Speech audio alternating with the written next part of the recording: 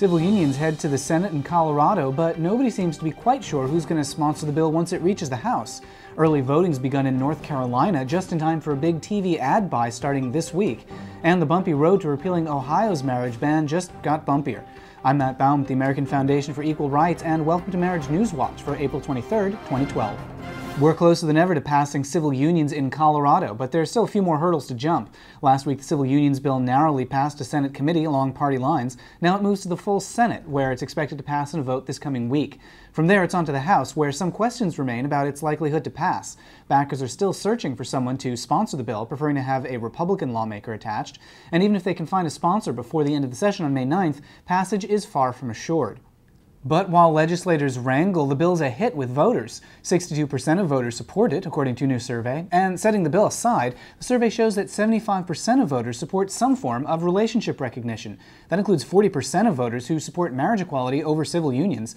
And when civil unions are taken out of the equation and marriage is the only option, a majority, 53%, are in favor of marriage. Colorado voters have rapidly come to see why committed LGBT couples deserve the freedom to marry, and now the only question is whether their legislators will do the same. Early voting has begun in North Carolina, where voters face a constitutional amendment that would ban any form of relationship recognition outside of opposite sex marriage.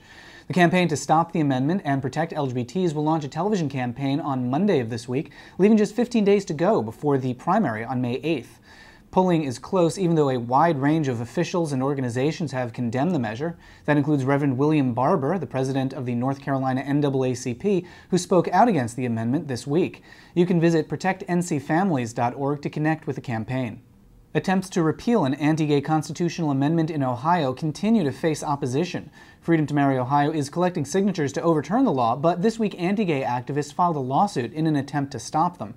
The state's other major LGBT organizations have yet to take a firm stand on the repeal process, citing unresolved questions about timing and strategy.